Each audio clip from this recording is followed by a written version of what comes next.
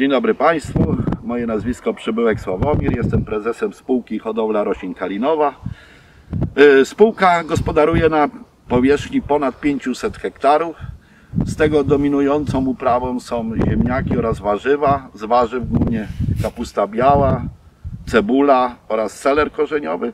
Pozostałe uprawy to y, zboża i kukurydza. Od y, 10 lat dokładnie od 2011 posiadamy certyfikat Global Gap oraz od dwóch lat certyfikat GRASP. Z tego powodu, że cała nasza produkcja ziemniaka oraz y, warzyw idzie na potrzeby firmy Agrosat, która y, te y, produkty, towary konfekcjonuje i sprzedaje do sieci supermarketów. E, Z ziemniaków uprawiamy około, tak co roku, około 150 hektarów kapusty białej, czerwonej 25, cebuli ponad 40 oraz 15 hektarów celera korzeniowego. Od dwóch lat posiadamy na stanie i ona działa oczywiście stację e, zakupioną w firmie AgroSmart Lab. Jest to stacja firmy Metos. E, ta stacja pomaga nam e, w monitorowaniu pojawu chorób i szkodników. Dzięki niej mm, mamy duże oszczędności kosztach zabiegów ochrony roślin. Średnio na przykład w zarazie ziemniaka e, wykluczyliśmy dwa zabiegi dzięki tej stacji, dzięki monitor, e, danych z tej stacji. E, Monitorujemy wszystkie choroby, wszystkich upraw, to znaczy wszystkie choroby ziemniaka, kapusty, selery, cebuli, ale także choroby zbóż, kukurydzy. Natomiast mamy założone trzy pułapki feromonowe. Jedna jest typowo dostosowana do śmietki kapuścianej, natomiast dwie zmieniamy w zależności od pory roku. Wymieniamy feromono, feromony, na których to pułapkach obserwujemy pojaw, wylot tantnisia, piętnówki kapustnicy, rolnicy, y, głównie rolnicy zbożówki. I na początku na przykład idzie pułapka na tantnisia, później idzie y, pułapka na piętnówkę kapustnicę, a rolnicę monitorujemy cały rok.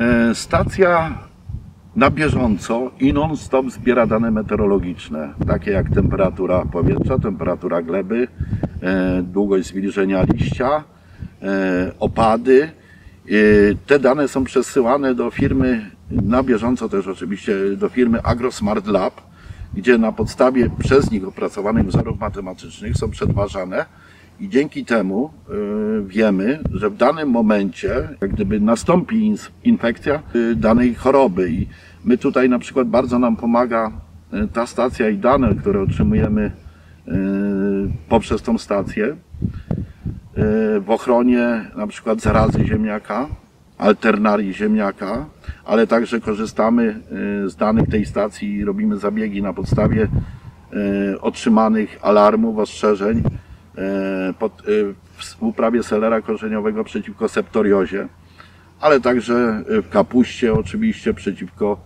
alternariozie, czy no, sucha zgnilizna liści kapustnych, E, czy mączniak rzekomy, chociaż tutaj jest mniejszym takim zagrożeniem, ale też, ale głównie alternaria, ale też bakterie, xantomonas. y, Także w uprawie zbóż korzystamy z informacji tej stacji typu mączniak, typu septorioza, e, także pełen zakres y, chorób. Czy to jest przydatne? Tak jak wcześniej wspomniałem, bardzo. Dzień w dzień na maila, ale także na SMS-em przekazywane informacje y, odnośnie pojawu, czy zagrożenia chorób, czy pojawu szkodników. I jestem jak gdyby na bieżąco w tym temacie, gdzie mogę zastosować tego samego dnia, ewentualnie następnego E, zabieg ochronny e, przeciwko patogenowi.